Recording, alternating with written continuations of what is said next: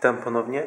Y, W trakcie malowania wyniknęła pewna zmiana, za chwileczkę o niej opowiem, a jest związana z, z tym, co zauważyłem, z pewnym ciężarem kolorów. Y, Proszę Państwa, otóż napis, który miał być tutaj ogniści, w ognisku, czarny napis ogniści, postanowiłem lepiej dopasować do tego, co będzie wyżej, poprzez naniesienie go na czarnym spodzie, na biało, ogniści, na biało będzie.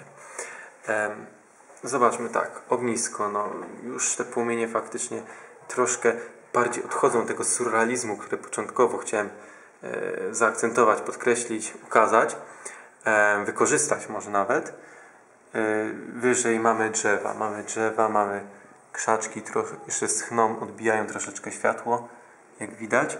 Mamy gwiazdy na niebie.